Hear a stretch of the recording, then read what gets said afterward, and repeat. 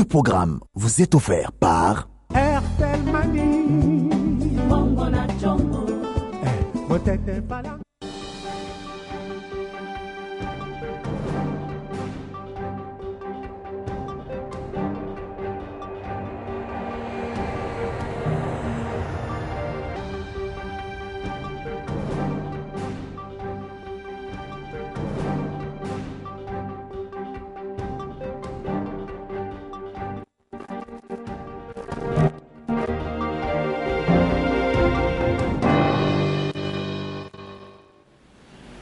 Madame, Monsieur, bonjour, bienvenue dans cette édition d'actualité. Dans ce journal, nous allons recevoir pour vous euh, le docteur Chosrat. Il est chef de service de soins intensifs et urgences euh, à un hôpital public euh, à Bruxelles. Bonjour, docteur. Bonjour madame.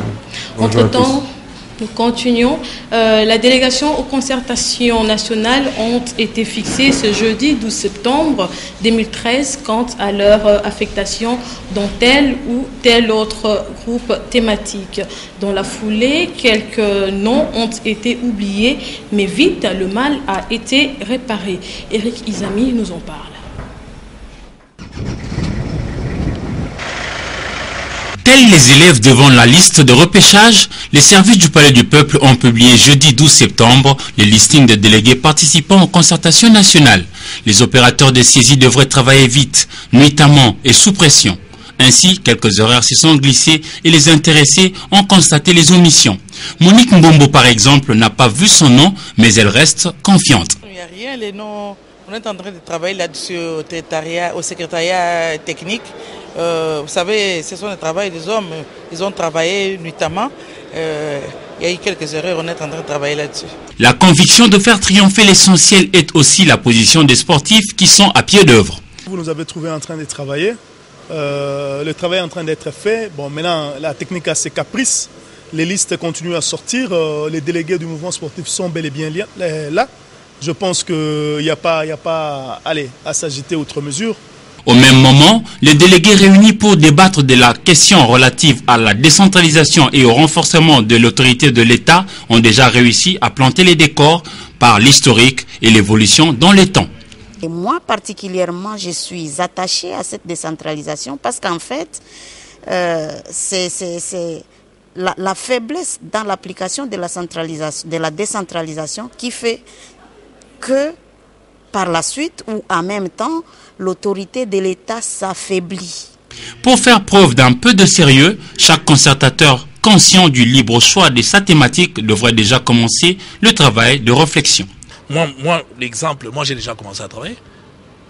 Si parmi les délégués, les gens n'ont pas travaillé, je me demande, chacun doit d'abord travailler chez soi ah, les dossiers ont été donnés, nous avons tous les éléments. Chacun a commencé à une réflexion, commencé déjà à réfléchir. Lorsque nous allons nous retrouver, c'est pour débattre de la réflexion de tout un chacun. Je pense que 10 jours, c'est déjà beaucoup. Dans 5 jours, on peut tout terminer. La paix et le pain sont les deux axes majeurs autour desquels les efforts de délégués concertateurs doivent être déployés pour soulager le peuple congolais. L'article 14 de la Constitution consacre la parité entre hommes et femmes. Hélas, lors de l'entérinement de 25 délégués à raison des dix co-modérateurs, pardon, 10 co-rapporteurs et 5 co-rapporteurs adjoints. Cette disposition a été la pomme des discordes dans une assemblée qui recherche la cohésion nationale. Les films de cette contestation multicolore avec Eric Izami. Quatrième jour, mercredi 11 septembre 2013, pour les concertations nationales, l'Assemblée plénière a entériné le choix de 25 personnes, dont deux femmes, 10 co-modérateurs, 10 co-rapporteurs et 5 co-rapporteurs adjoints. Aussitôt, le groupe de 25 a été présenté officiellement à l'Assemblée et le non-respect du quota réservé aux femmes a fait fâcher. Et moi, personnellement, je suis aussi euh, très choqué de constater que sur la composition des différentes, euh, différents bureaux, euh, des différentes commissions, qu'on ne trouve que sur le 25 deux femmes. Écoutez, monsieur, moi je suis secrétaire exécutif national des femmes politiques de l'opposition. M'a-t-on consulté? Je ne pense pas. Je n'ai pas été consulté. Et à ce que je sache, si nous sommes aujourd'hui à ces assises, c'est pour que ensemble nous aplanissions le vu. C'est pour la cohésion nationale c'est pour la réconciliation. Son propos est soutenu même par les hommes avec un peu de bémol. Ça, ça saute aux yeux et c'est une anomalie. Mais il y a maintenant une contradiction, c'est le fait qu'il a été convenu que dans ce processus, tout se décidera par consensus. Et ceux qui ont été à la négociation avec euh, le présidium ont accepté qu'il en soit ainsi. Or, quand on amène les conclusions des échanges entre le, le, présidium et les consultateurs dans l'Assemblée, c'est pour valider, pour entériner, pour prendre acte. C'est ça qui fait contradiction. Pour d'autres délégués concertateurs, cette ambiance relève du jeu démocratique. Vous savez, dans une assemblée qui réunit plus de 650 personnes, n'attendez pas à voir tout le monde réagir de la même manière. Donc ce sont des réactions. Il faut mettre ça dans un cadre démocratique, une ambiance euh, de grande assemblée, c'est toujours comme ça. De jeudi 12 septembre 2013, dans les différents sites choisis, les délégués concertateurs connaissent déjà leur groupe thématique et vont s'atteler au travail proprement dit pour et au nom du Congo voulu de paix. Dans un autre chapitre, le Bureau de coopération pour la sécurité de l'ambassade des États-Unis organise du 10 septembre au 2 octobre une série de formations à l'intention de FRDC à la base de Kitona au Bas-Congo.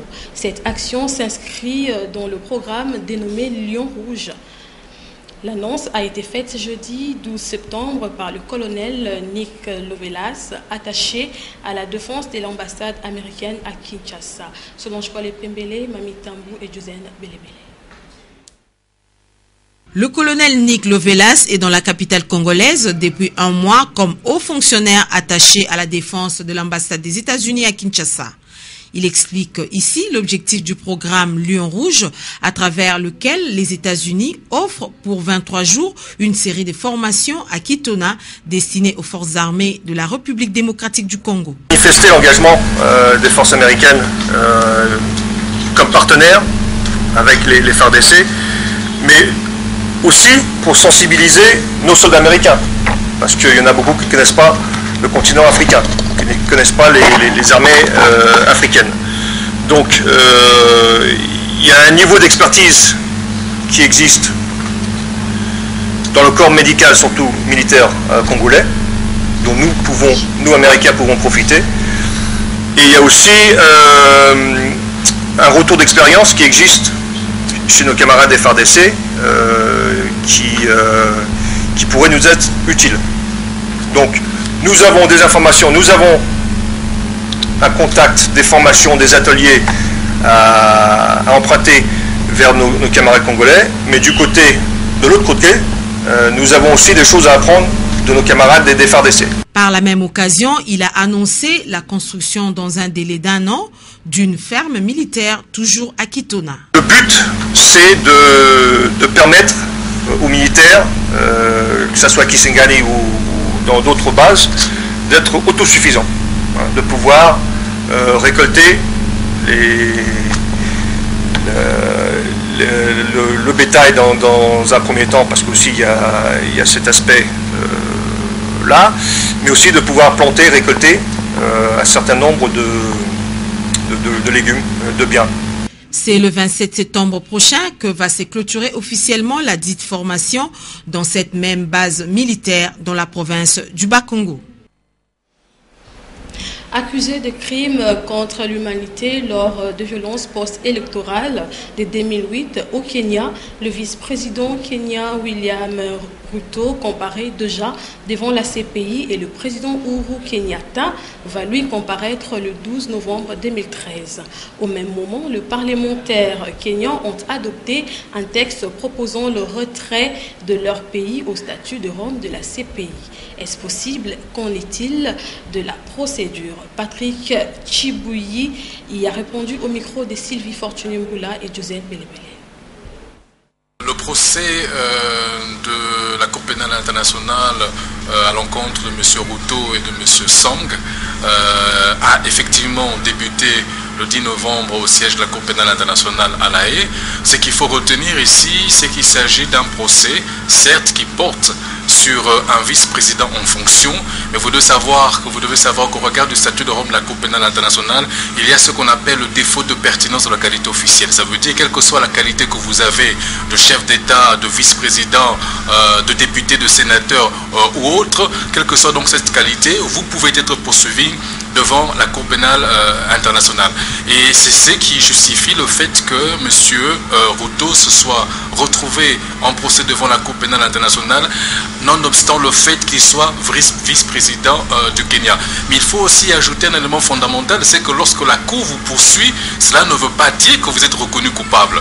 Et le statut de Rome dit clairement que les États partis au statut de Rome peuvent effectivement se retirer de la Cour pénale internationale, mais ce retrait est organisé par cet article qui prévoit que notamment les États partis déposent leur, leur retrait par, leur retrait par une notification écrite au secrétaire général des Nations Unies. Et en plus de cela, ce retrait ne prend effet qu'un an après la réception de cette notification. Le statut de Rome prévoit la possibilité pour les États de se retirer.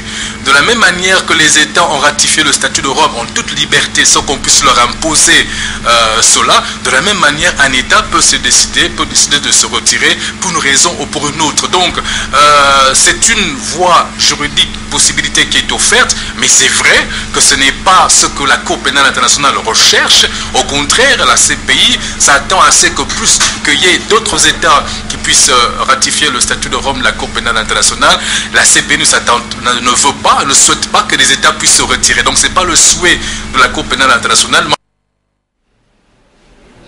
Parlons santé à présent, le médecin de service public ne sont pas satisfaits des tractations de leurs délégués avec le gouvernement. Le bureau exécutif provincial du SINAMED pour la ville de Kinshasa va radicaliser la grève de médecins à partir du lundi 16 septembre 2013. Jean-Luc Mercikwama et Mathieu Gadibouvi. Négociation après négociation, mais aucun résultat. La patience des médecins de Kinshasa a des limites. Le bureau exécutif provincial du Sinamed Kinshasa l'exprime à suffisance. Il ressort à ce jour que rien de concret et d'officiel n'a été proposé aux médecins des services publics de l'État par rapport à leur cahier de charges. Au regard de la situation qui, à ce jour, viole l'esprit de l'arrêté interministériel en rapport avec le temps de travail de la commission qui était de 7 jours, le Sinamed, ville-province de Kinshasa, concède à cette entorse en accordant encore au gouvernement de la République un délai supplémentaire de 72 heures. Au terme de ce délai, les médecins de la ville-province de Kinshasa se réservent le droit de radicaliser son mouvement de grève dès ce lundi le 16 septembre 2013. De bras de fer en bras de fer entre médecins et gouvernement, on est prêt de se demander à quand la fin de la grève.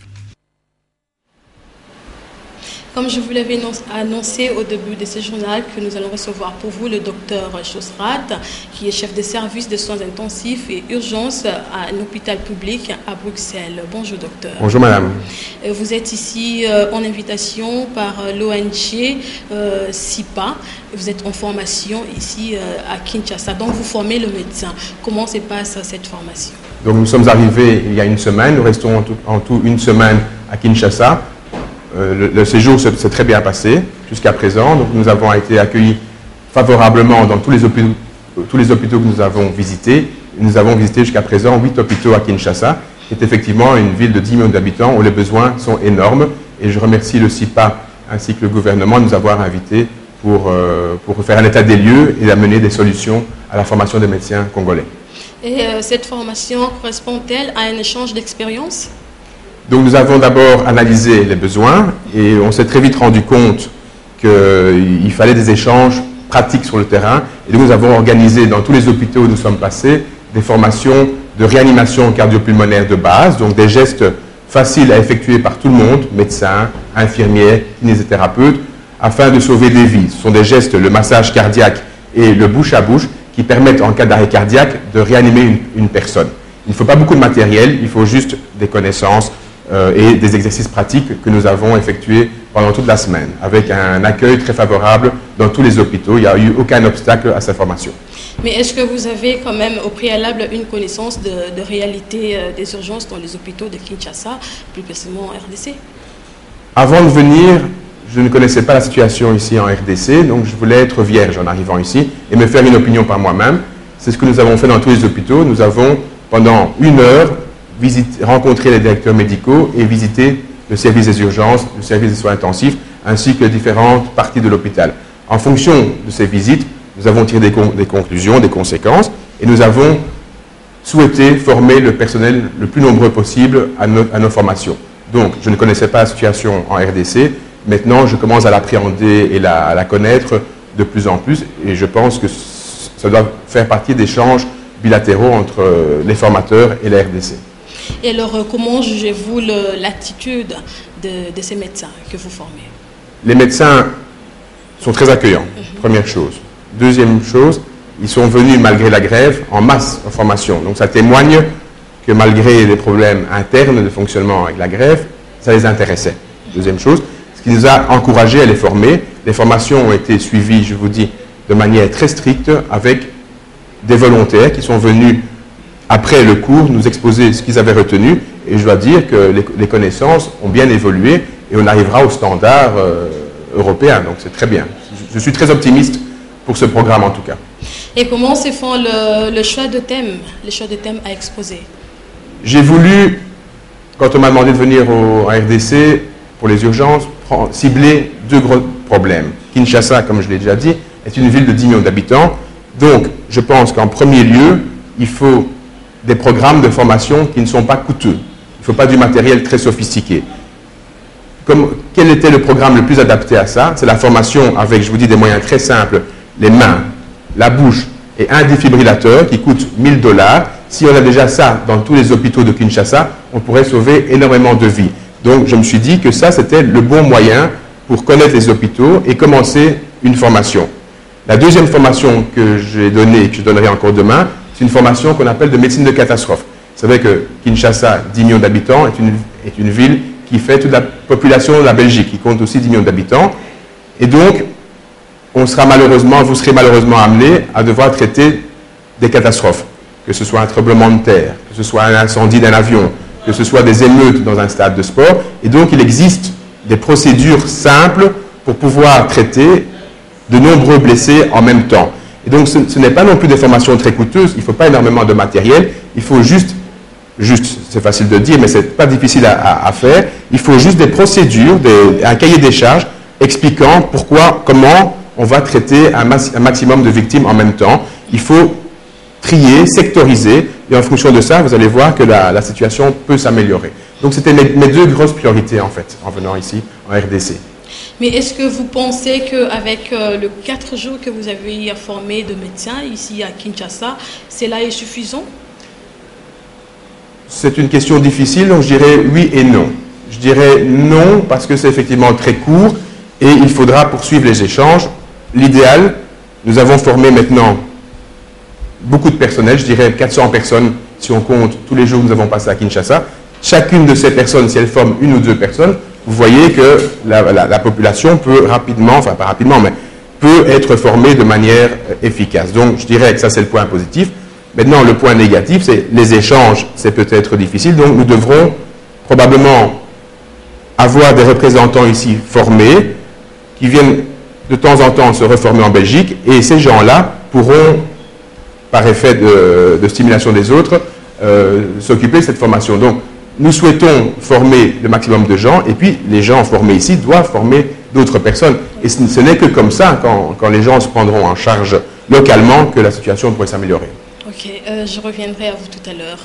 Le ministère du Plan et des suivis de la mise en œuvre de la révolution de la modernité a réceptionné ce jeudi 12 septembre 2013 un lot de 81 automobiles sur fonds proposés du gouvernement de la République. Ces engins s'inscrivent dans le cadre de renforcement de capacité des agents du dit ministère à propos de l'opération du deuxième recensement général de la population congolaise sur toute l'étendue de la République. Africa Mujinga et Sylvain Kapongo Bosengele.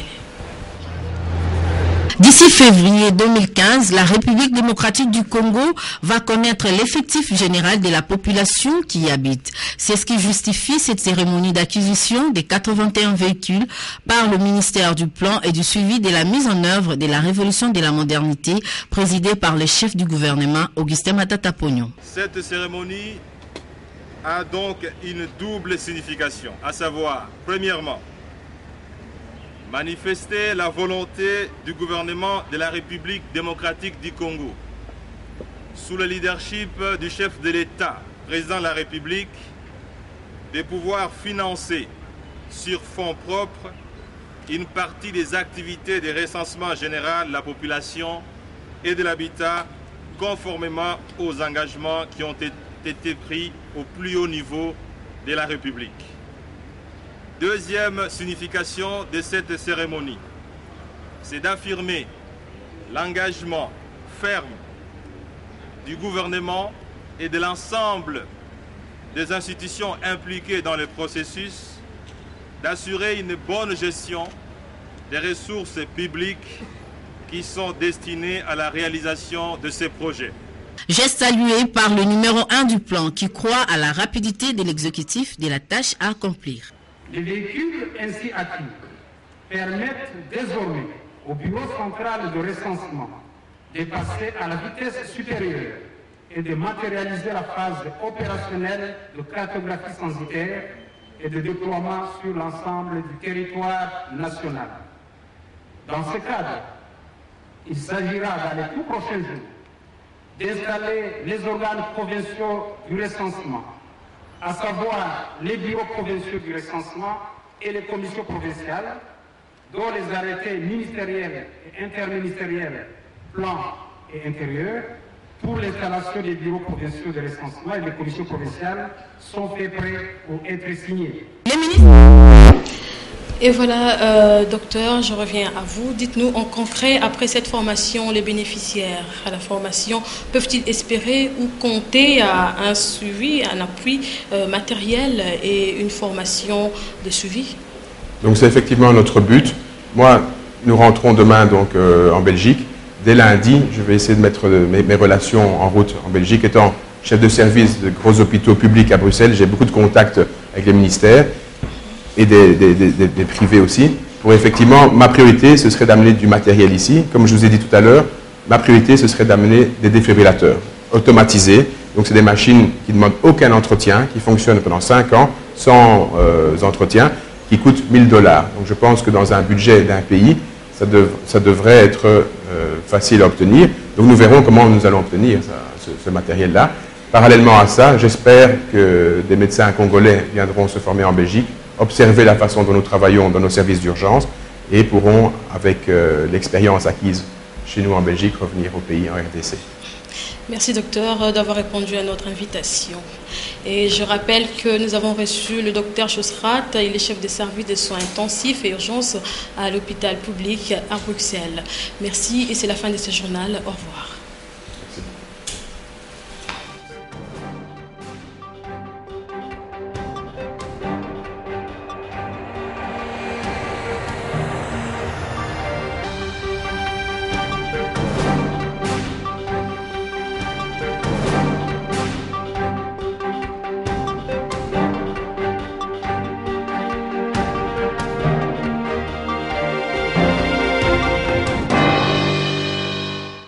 Programme vous est offert par RTL Mani.